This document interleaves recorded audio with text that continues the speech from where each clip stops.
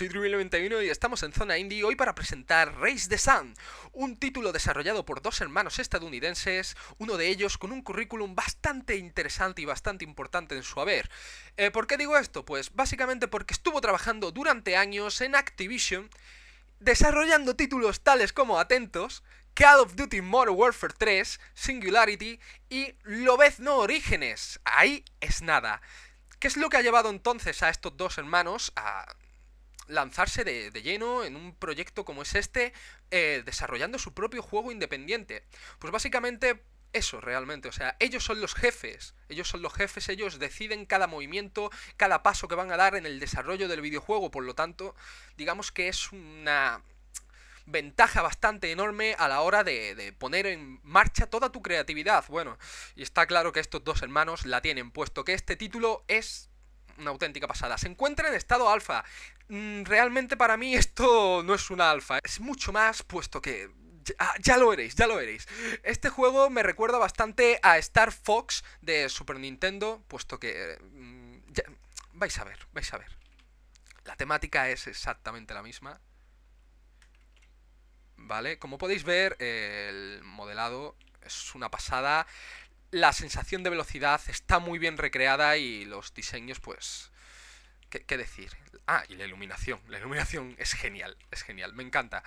Eh, es un título eh, que, bueno, al estar actualmente en desarrollo, pues aún no tiene todas sus características eh, finales, ¿no? Es decir, nos han prometido más características que irán añadiendo conforme se vaya acercando dicha versión final, como puede ser un multiplayer, eh, opciones de, creación de, mapas, creo entender, y también em, que el mapa vaya cambiando según la hora del día a la que nos conectemos, a la, que juguemos a, a este título. Bueno, como podéis ver, no es difícil.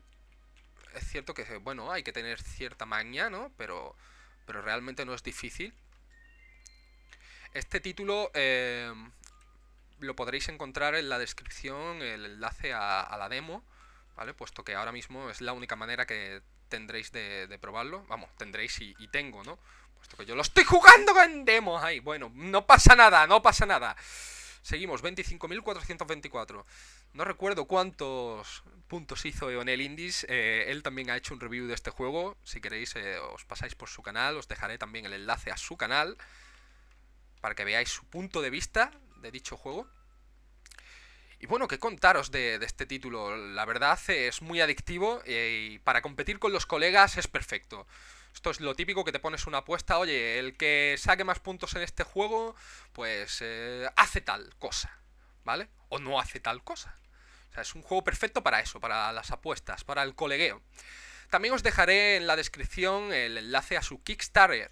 Eh, ¿Qué es Kickstarter? Pues realmente es una página eh, que alberga proyectos de crowdfunding en los que según el digamos la aportación, la donación que hagas tú para cada proyecto, pues eh, desbloqueas ciertos beneficios mm, propios, ¿no? O sea, para ti respecto al juego. Es decir, a lo mejor, pues, eh, creo recordar que este título a partir de los 15 dólares, creo recordar, no estoy muy seguro, eh, ya lo desbloqueas, es decir, que cuando salga a la venta, pues tendrás el título en tus manos, ¿vale? Eh, conforme vayas donando mayor cantidad de dinero, que creo recordar que es acumulativo, pues se te van desbloqueando nuevas características como, bueno, regalos que te hacen ellos. Ya os pasaré el Kickstarter y ahí comprobáis cada logro según la donación. Eh, es muy difícil hablar y jugar a este juego, en serio. ¡Ah! Vale, hemos llegado a una zona chill out. Esos pulpos me dan un mal rollo. Vale, ¡Ay! Eh, eh, vale, región 2 la cosa se complica. ¡Mierda! Bueno, eh... Los escenarios, como podéis ver, son inmensos, pero no solamente son inmensos, son infinitos, que ahí es nada, ¿vale?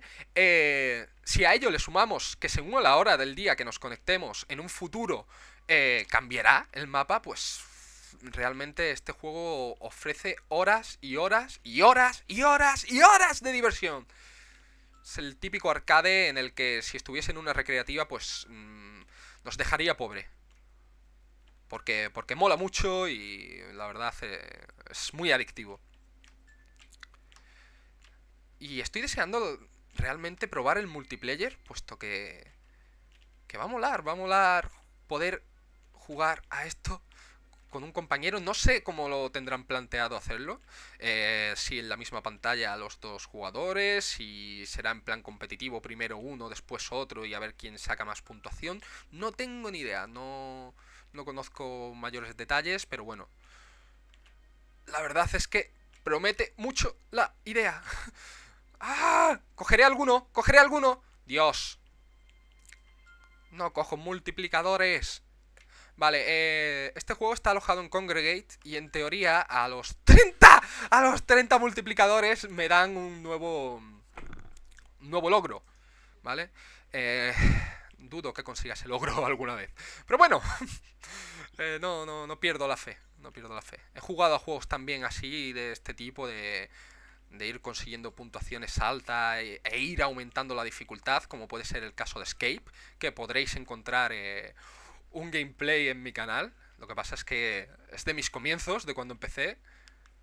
Y bueno, quizás la calidad de audio, la calidad de, grabación, pues no es la más correcta, pero bueno, el, gameplay eh, estaba, estaba divertido, estaba gracioso.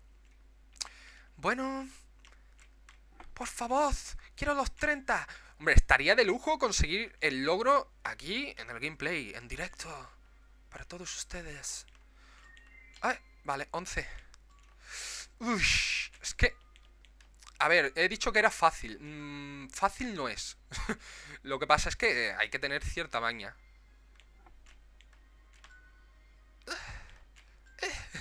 Vale, sí, sí, me deja sin voz. Me deja sin voz estar jugando a este título y hablando. Es muy difícil. Vale, vale, vale. ¡No! ¡20! ¡20! Me he quedado a 10 del logro. Bueno chicos, eh, lo vamos a ir dejando aquí. Espero que os haya gustado este título. Realmente si queréis contribuir a, que este juego llegue a buen puerto y tenga una versión final con todo lo que nos han prometido sus desarrolladores, que además son hermanos, lo veo una cosa pues la verdad, singular y perfecta, ¿no? Dos hermanos eh, totalmente compenetrados a la hora de desarrollar un juego es algo que, que no puede salir mal. Bueno, os dejo su Kickstarter, os dejo la demo y nos vemos en otro capítulo de Zona Indie. Nos vemos, cazapetes.